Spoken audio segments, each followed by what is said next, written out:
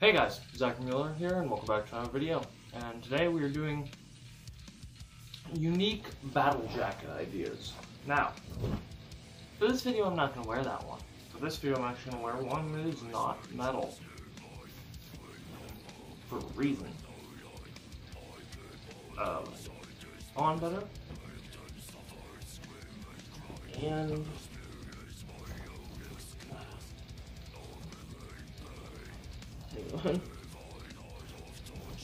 Should put some for video.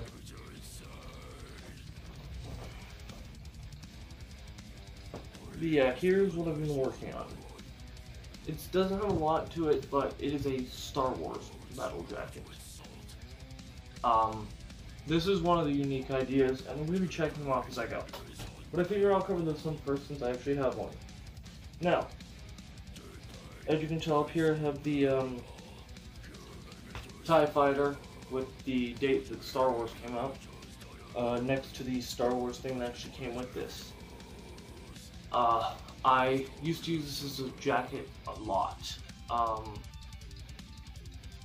but I eventually just started hanging out and I was like, oh, it's just a shirt now. But now I've started using this jacket again and I was like, yeah, I can throw some Star Wars patches on it and stuff. I mean, I've got like two others I need to throw on here, which are uh, Chewbacca and the Millennium Falcon. Oh, and my back patch, which is Darth Vader skateboarding. Uh, it's from a shirt when I was younger that I really didn't. I really loved the design, and I couldn't part with it when I got too big for it. So I was like, eh, I'll keep the design. But yeah. So like, with the Star Wars inspired jacket, you can always either have dark side or light side. With mine, it's gonna be a mix, and it's just gonna be all around. Um, you could go with the first four movies, so four, five, and six. You could go with one, two, and three. You could go with seven, eight, and nine, or you could go with the TV shows or something like that. The Mandalorian specifically, you know, like stuff like that. You could try and do that, but I mean, I'd suggest doing like the movies and TV shows and mix it up. And then you just include stuff, whether it's joke or not, you include it, and you I have some Star Wars coffee, and I want the one with like Darth Maul on it because I, I I'm a really big fan of Darth Maul. Okay, so that's one idea I've had. Another, it's horror.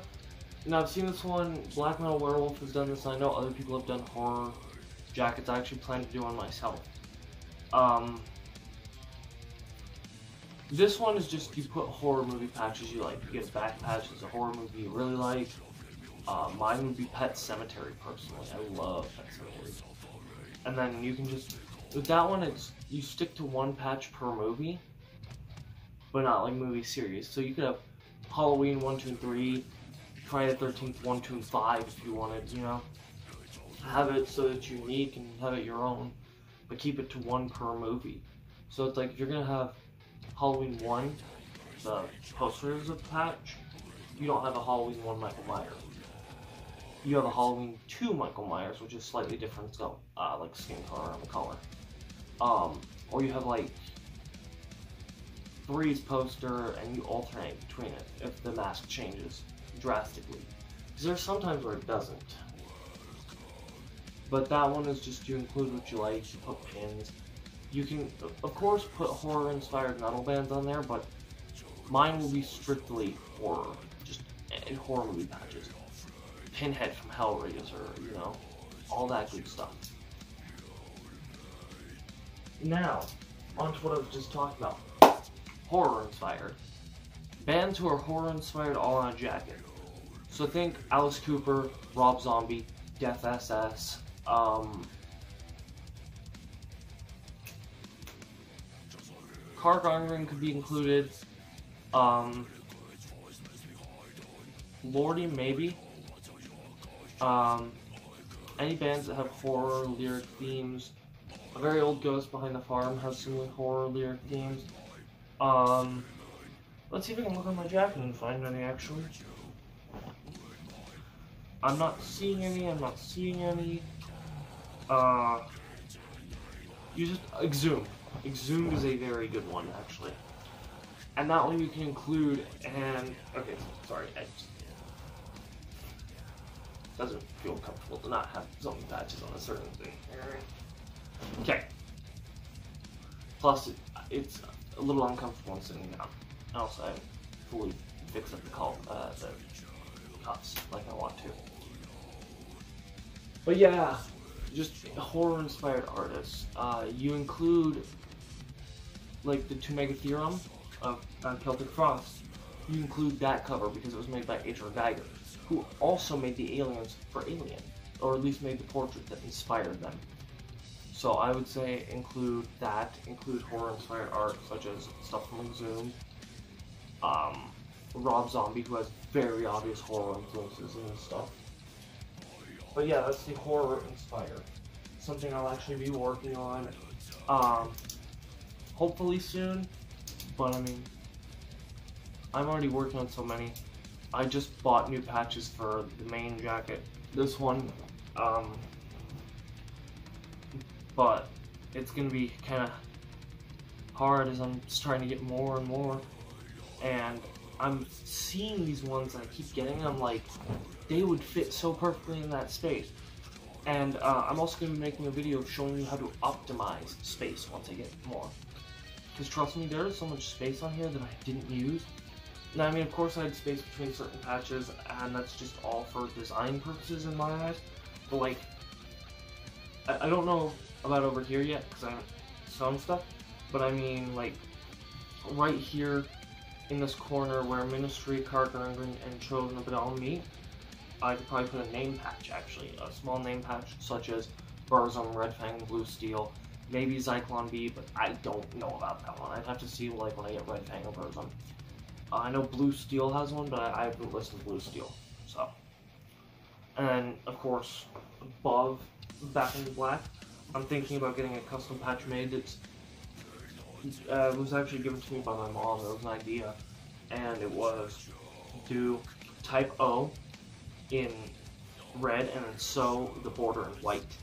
Sew it in white, and then do negative in white and sew it in red. And that would fill up this back area. I have to get into the contact with the person who make, custom makes my patches so that she can hopefully make one. Um, but yeah, that sorry, off topic from the video's concept. Um, I'm just gonna include these two in the same thing. Marvel and DC Comics. You can do them both in the same one, have a just a purely comic related vest, battle jacket, whatever. Or you can do Marvel or DC, or you can have all three if you'd like. You can have like a Marvel versus DC, Marvel's on this side, DC's on this side, and you have your favorites from each one. Or you have DC and you can do a heroes versus villains, uh, you can have strictly villains, you can have strictly heroes, or you can have just a bunch. So it's like, it just, it's all up to you. You customize it, I'm giving ideas. See, I like giving ideas. Um, places you've been, and like, this one I'm kind of doing with my bag down here. I I've got an ostrich land patch from Solvang. Uh, I went there, I think, two years ago now, and I saw the patch, and I was like, I'll pick that up. I, I didn't put it on my jacket because it wasn't because it wasn't metal related, I was just like, it didn't work for me.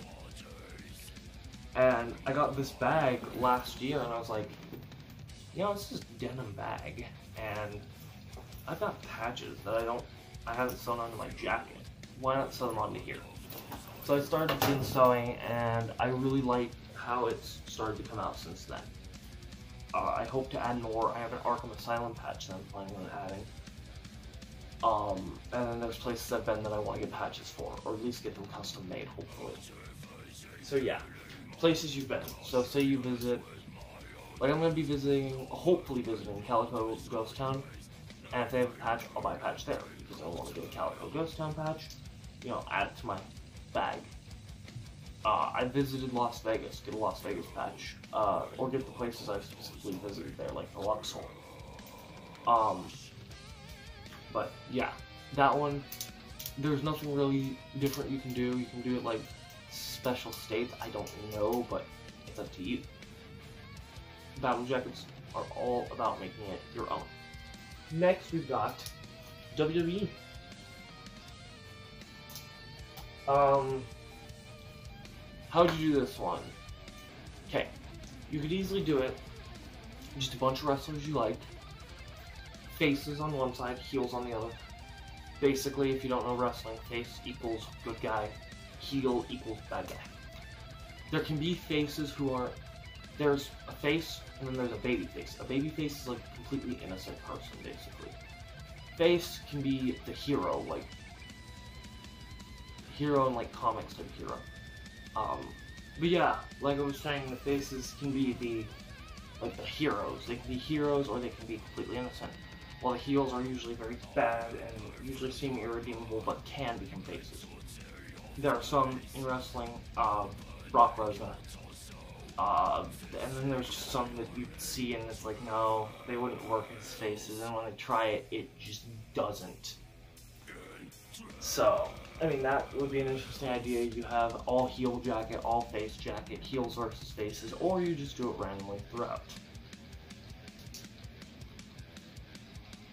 Tribute jacket. Now, what I mean by this, I mean have multiple meanings behind this. Tribute to one band. So let's say you pick a band that has a lot of patches, a lot of albums, a lot of history. Metallica. I'm just gonna give it that because that's an easy one. They've got a bunch of albums. They've got live albums. They've got artwork that you can use. You've got members of the band. You've got different Metallica patches. You've got a bunch of things that can easily work, and it would be interesting to do, especially if you're a big Metallica fan. If you're not a big Metallica fan, don't do that you do tribute jackets for a big of. The other idea I had for this was to make a tribute to all the dead ones. So, you know, people like Euronymous, dead, Peter Steele, Dimebag Darrell, Vinnie Paul, Lemmy Kilmister. Um, you have them on a jacket as kind of like in a tribute. This is a tribute to all the dead ones out there. You know, uh, Jimi Hendrix, Jim Morrison, all of those. You include it and make it like a tribute to all the dead rockers out there.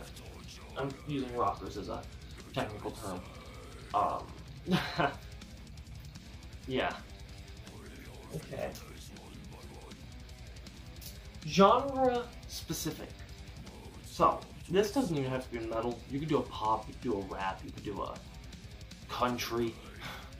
It wouldn't work as well, at least in my eyes, but I mean, somebody could make it work. But like, what I mean usually is like genre, specific. So, in metal, my jacket is a complete mix. My main jacket is a complete mix. My vest is mostly thrash, death, and black. Uh, there's a there's some doom and some classic heavy metal thrown in there, interspliced.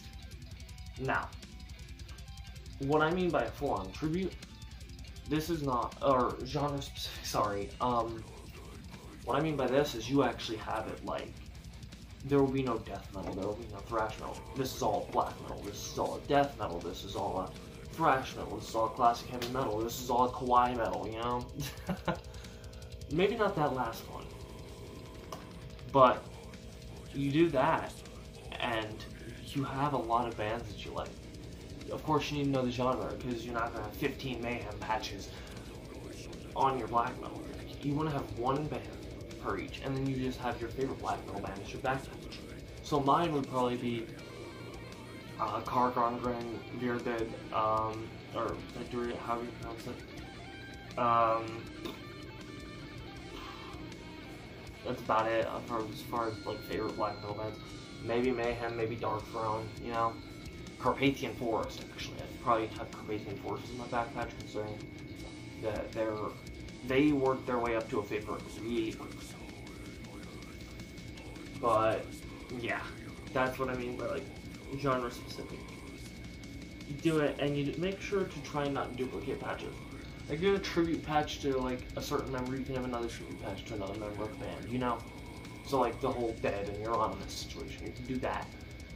But I, I still would try to keep it the same. So keep it to one patch per.